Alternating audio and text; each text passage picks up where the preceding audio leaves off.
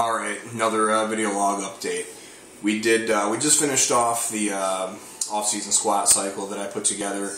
Um, last thing that we did was uh, straight weight in briefs for a single, heavy single. Figure out um, basically where you're at. It's kind of like my indicator that I do going into most of my squat cycles.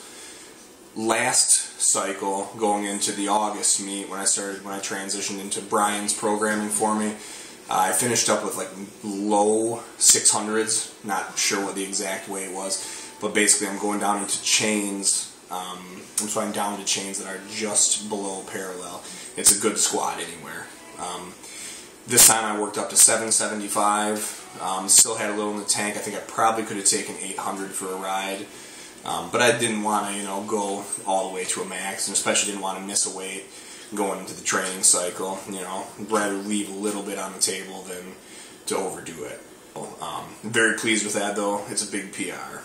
Um, tonight, Sunday night, did some bench stuff, more rehab work. Stuck with dumbbell presses, did a lot of reps, sets of 20. I actually finished off with um, 65 pound dumbbells for a set of 15 reps. A little bit tight, um, but for the most part, good. You know, there's progress there, so I mean, it is what it is. But uh, finished up with my usual triceps, shoulders, back work. Um, I have increased my back volume a little bit. I said I was going to be doing that. And uh, I think so far I'm liking the way it feels. I'm getting a little bit more into each session. So that's that. More to come. We'll talk to you.